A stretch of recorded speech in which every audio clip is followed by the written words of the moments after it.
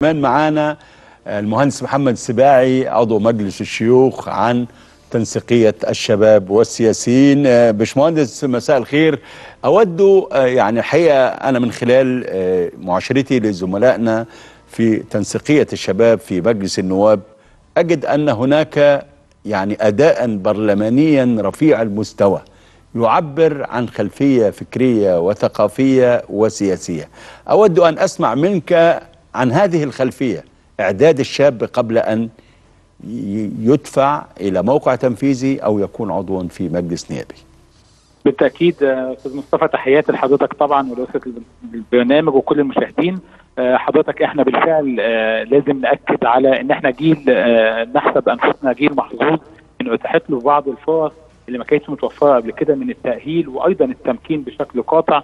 يمكن حضرتك تتحدث عن زمايلنا في مجلس النواب أو في مجلس الشيوخ. بالفعل بيكون هناك مجهود ضخم جدا من الإعداد والتأهيل يعني سواء على المستوى الشخصي أو حتى الإعداد على مستوى ما يتم داخل المجلس. يمكن حضرتك بتكلمني النهارده بالمصادفة.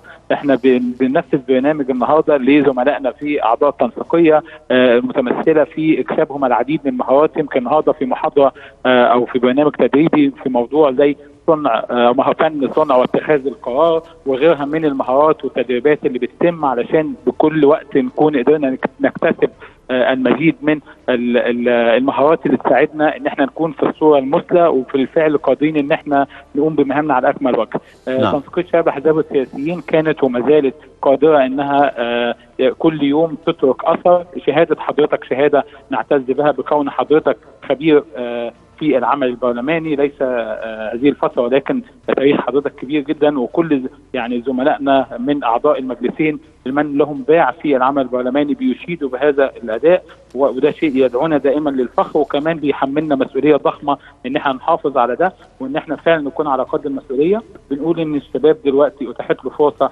وإن شاء الله يستثمرها بشكل كبير جدا لأن بالفعل إحنا محتاجين نأكد إن الشباب قادر إن هو يقود وإن هو يكون يعني في طليعه أو قاطره للتنمية اللي بتتحقق في هذا العصر دي تحت القيادة السياسية الرشيدة اللي موجودة قادرين إن إحنا نكون عند حسن الظن وبالتأكيد بالتعاون مع السادة من الخبرات اللي موجودة والخبراء الموجودين زي حضرتك. شكرا لك المهندس محمد سباعي عضو مجلس الشيوخ عن تنسيقية الشباب والسياسيين.